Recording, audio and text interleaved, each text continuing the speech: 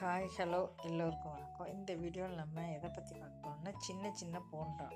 ஆளு ஆலு பற்றி பார்க்க போகிறோம் எப்படி பண்ணுறதுங்கிறத அதுக்கு முன்னாடி என்னோடய சேனலுக்கு வந்து நீங்கள் சப்ஸ்கிரைப் பண்ணால் பண்ணிக்கோங்க. ஃபஸ்ட்டு கடலை மாவு ஒரு பாத்திரத்தில் உப்பு க உரைப்பு மஞ்சள் பிள்ளாம் போட்டு உரமாக கரைச்சி உரமாக வச்சுக்கோங்க வெங்காயம் பச்சை மிளகாய் இஞ்சி இதெல்லாம் வந்து கட் பண்ணி வச்சுக்கோங்க. அப்புறம் பார்த்தா உருளைக்கிழங்க வந்து வேக வச்சுருங்க. குக்கரில் பாத்திரத்தில் வச்சு நல்லா வேக வச்சுக்கோங்க. அப்புறம் அதை வந்து நல்லா வந்து மையாக வந்து நசுகணும் லேசாக வேக நல்லா வேக வைக்கணும். கை அப்படி வேகலைன்னா கையை வச்சு இந்த பாருங்க நல்லா வந்து பிசிஞ்சு கொடுங்க. நல்லா வந்து நீங்கள் பிசிஞ்சு கொடுத்தும் கட்டி கட்டியாக இருந்துச்சுன்னா நல்லா இருக்காது. நல்லா மாவு மாதிரி வரணும். அதனால் கையை வச்சு நல்லா நீங்கள் வச்சு கரண்டியை வச்சோ நல்லா பிசியணும். பிசிஞ்சிட்டு கொஞ்சம் உப்பு போட்டுக்கணும். காரப்பொடி ஜீரகம் அதெல்லாம் போட்டுக்கோங்க. பெருங்காயம் அதெல்லாம் வந்து உங்கள் ருசிக்கு தக்கன போட்டுக்கோங்க. போட்டுட்டு மறுபடியும் வந்து நல்லா பிசியணும். அப்போ தான் வந்து எல்லாமே வந்து மிக்ஸ் ஆகும். அதுக்கப்புறம் என்ன பண்ணுறீங்க பாருங்கள் நல்லா பிசியணும். அதுக்கப்புறம் பார்த்தீங்கன்னா நீங்கள் கட் பண்ணி வச்ச வெங்காயம் பச்சை மிளகாய் இஞ்சி கருவேப்பிலை கொத்தமல்லி அது எல்லாத்தையும் போட்டு மறுபடியும் பிசிங்க. ஃபஸ்ட்டு பிசிஞ்சு வச்சுக்கோங்க. அப்புறம் உப்பு காரப்பொடி போட்டு ஒருத்தர் பிசிங்க. அப்புறம் இந்த வெங்காயம் பச்சை மிளகாய் அதெல்லாம் போட்டு பிசிங்க. ஸோ எந்த அளவுக்கு நீங்கள் பிசிங்கிறீங்களோ அந்த அளவுக்கு தான் வந்து ருசி வந்து நல்லாயிருக்கும்.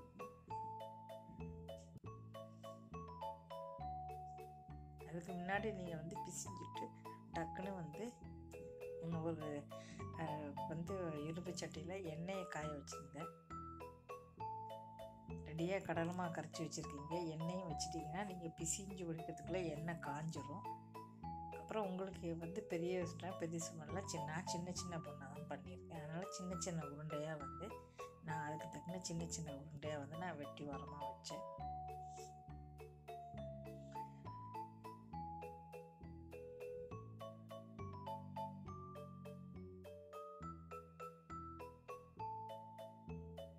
பெரிய போண்டானா பெருசாக போடலாம். சின்ன நான் வந்து சின்ன சின்னதாக வேணுங்கக்கா சின்ன சின்னதாக நான் போட்டேன்.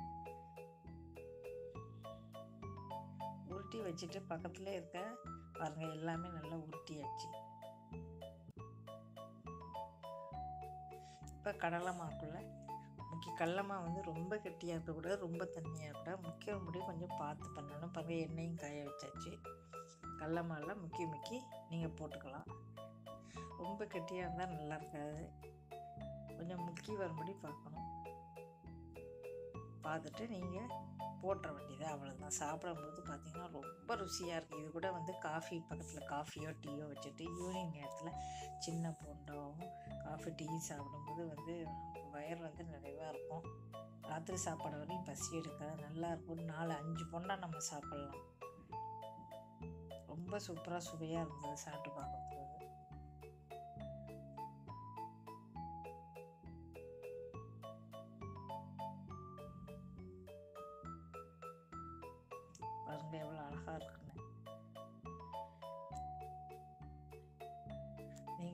பாருங்கள் இந்த வீடியோ வந்து பிடிச்சிருந்தா மறக்காமல் வந்து என் சேனலை சப்ஸ்கிரைப் பண்ணுங்கள் தொடர்ந்து என்னுடைய வீடியோ எல்லாம் பாருங்கள் ஆதரவு கொடுங்க. மிக்க நன்றி.